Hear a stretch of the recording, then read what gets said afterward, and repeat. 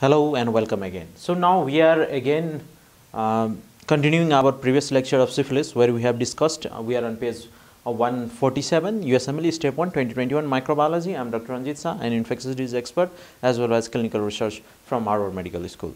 So now today we will be continuing our previous lecture of the syphilis where we have discussed about syphilis that was caused by the bacteria known as the Treponema pallidum with a spiral shaped bacteria falls under spirochete that is the this all treatment is penicillin G.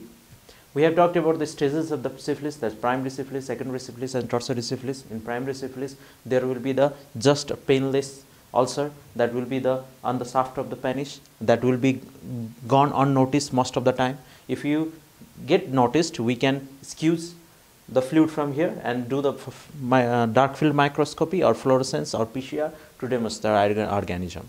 We can even do serological test that may be specific and non-specific. The non-specific take the non inflammatory uh, not due to bacteria are VDRL and RPR so that can be positive.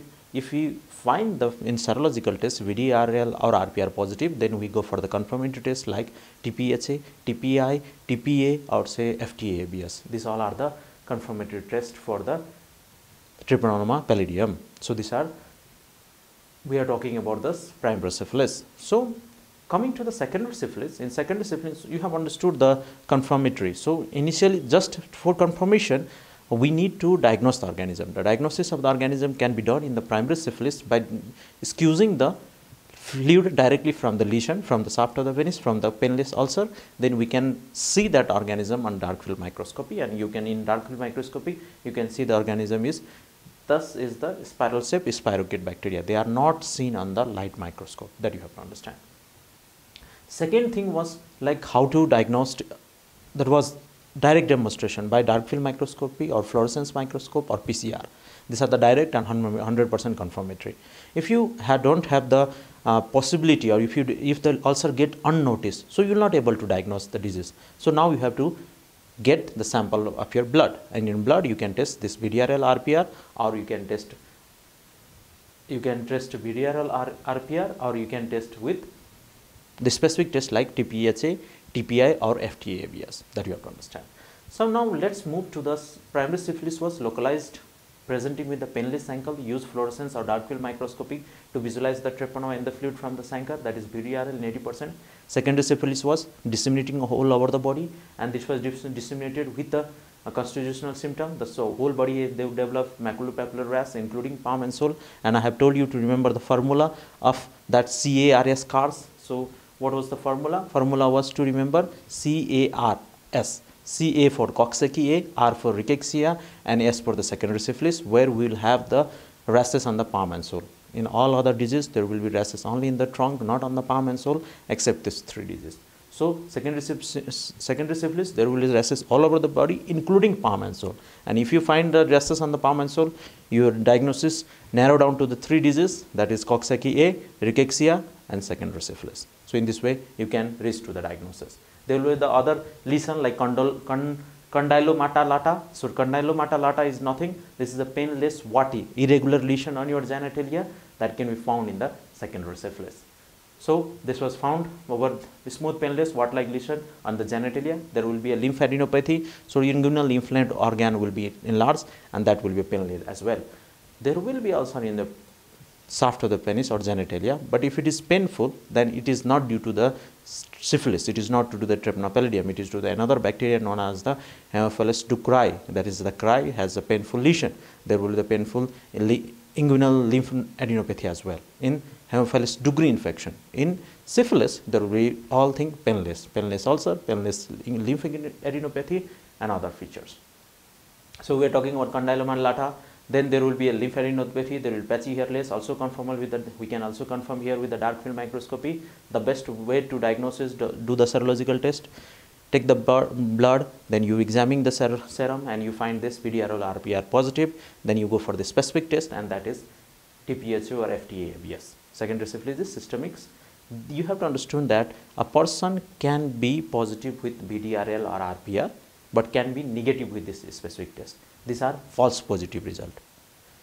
VDRL, RPR can be positive, but if you go for the specific test like FTABS, TPHA, TPI, this came negative, then the patient doesn't have syphilis. If a person you test RPR and VDRL, this come negative, but there is positive this specific test TPSA, TPR, FTABS, then you have to understand you have treated the patient successfully. So this specific test like TPHA will be positive lifelong, but this non-specific, this, these are the inflammatory markers. So when there is bacteria is active inside your body, it will be positive. Means this if this is, is positive, this indicates there is an infection. If it is negative, so now you have to understand the patient has been improved. Okay. Now secondary syphilis can be lead to the latent syphilis. Latent syphilis is nothing. There will be no symptom at all. Patient will be uh, fine, but there the serological tests are positive. Then that is called late, that is called latent syphilis. That has two type: early latent and late latent. Depends on the temp time of exposure. If it is within 12 years, 12 month, and then one year, then we take take it as early latent early syphilis. If it is more than one year or say more than 12 months, we consider as late latent syphilis. Okay. Then we have come to the tertiary syphilis, which is called gun. there are the certain chronic granulomatous actions like gummas, then is uh, a aortitis, vasa vasorum destruction, there is neurosyphilis, damage of the anterior column of the spinal cord leads to the loss of this pain and proprioception.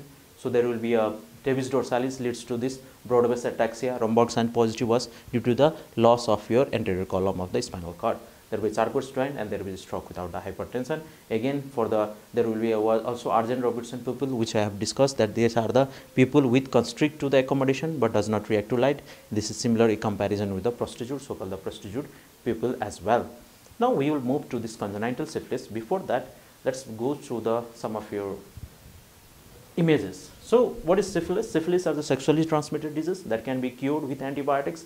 Many people won't notice any symptom for a year as so it's important to get tested. So there is need to be screening a lot of people if you are traveling abroad to the endemic region or say for labor purpose we even uh, screen for this disease even all the pregnant women who are going to deliver the baby and they can transmit to the baby so they should be uh, screen tested asymptomatic people. All symptomatic people should be tested. If asymptomatic people can be tested in certain scenario like if they are transmitting to other high risk people, if they are sexual worker, say if they are a pregnant woman, so they can transfer to the baby in this way. Asymptomatic patient also need to be tested. So you can see the syphilis can be divided into primary, secondary, latent, which will be early and late, and there is a tertiary. In a primary, there is three or four weeks after exposure when you get contact with the sexually infected person after 3 to 4 weeks you will develop painless chancre artery inoculation site. We have already shown you the picture. I'll show you again. In the secondary there will be a 4 to week 4 to 8 weeks after appearance of the primary chancre there will be rash condymalata systemic symptom common. Latent syphilis there will be no symptom at all but they will be serological positive. Tertiary syphilis 1 to 10 years after infection. Their beginning will be gummatous lesion cardiovascular aortitis coronary arteritis cns this will be Tabes dorsalis and paresis. So that there is generalized weakness. You can see this is primary syphilis where we have this painless ulcer on your genitalia. You can see the secondary syphilis where there is the uh, rashes all over the body including palm and sole. Okay. You can see over here the rashes all over the body, palm and sole. So you see this rash will be only in three diseases that is Coxsackie A, rickettsia and secondary syphilis. I have seen you. There will there is we can see on the sole as well there will be all over body including palm and sole that you have to remember. You can see this is the shaft of the penis where you can excuse the uh, fluid and then you can test for dark microscopy, fluorescence microscope or say you can say in the PCR. These are the uh, all over the body including palm and sole that comes in the secondary syphilis. Primary syphilis is a sexually transmitted disease caused by bacterium Treponema Primary syphilis present as a painless open sore 3 to 6 weeks after exposure.